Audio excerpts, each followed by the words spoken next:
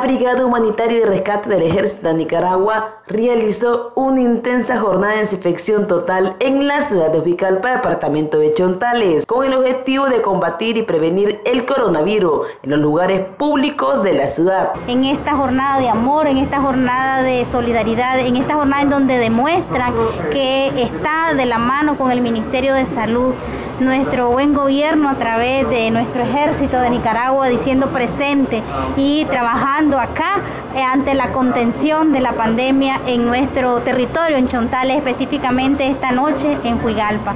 La verdad que nosotros nos sentimos muy agradecidos y en nombre del Ministerio de Salud agradecemos esta gran labor. Durante la jornada del Ejército de Nicaragua roció con peróxido de nitrógeno los 25 lugares públicos que fueron desinfectados en Huicalpa. A esta labor que realizamos de desinfección de la municipalidad de aquí de Huigalpa. Estamos nosotros muy comprometidos siempre con el pueblo y de cara a eso es que desarrollamos este trabajo con este esfuerzo que hemos venido desarrollando vamos a beneficiar a esa cantidad de población que dijimos temprano de unos 80 mil habitantes de Huigalpa. Se cumplió todos los objetivos, 25 objetivos desinfectados.